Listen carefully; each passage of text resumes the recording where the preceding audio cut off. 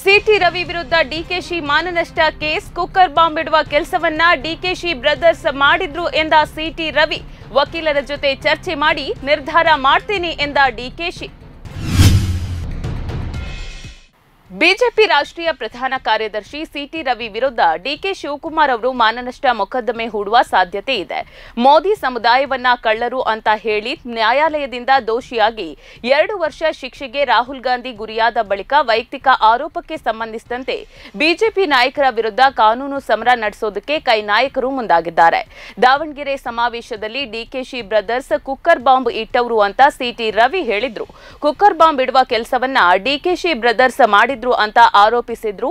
ಈ ಹೇಳಿಕೆಗೆ ಸಂಬಂಧಿಸಿದಂತೆ ಸಿಟಿ ರವಿ ವಿರುದ್ಧ ಮಾನನಷ್ಟ ಮೊಕದ್ದಮೆ ಹೂಡುವಂತೆ ಆಪ್ತರು ಡಿಕೆ ಶಿವಕುಮಾರ್ಗೆ ಸಲಹೆ ನೀಡಿದ್ದಾರೆ. ಆಪ್ತರ ಸಲಹೆಗೆ ವಕೀಲರ ಜೊತೆ ಚರ್ಚೆ ಮಾಡಿ ನಿರ್ಧಾರ ಮಾಡ್ತೀನಿ ಅಂತ ಡಿಕೆಶಿ ಹೇಳಿದ್ದಾರೆ.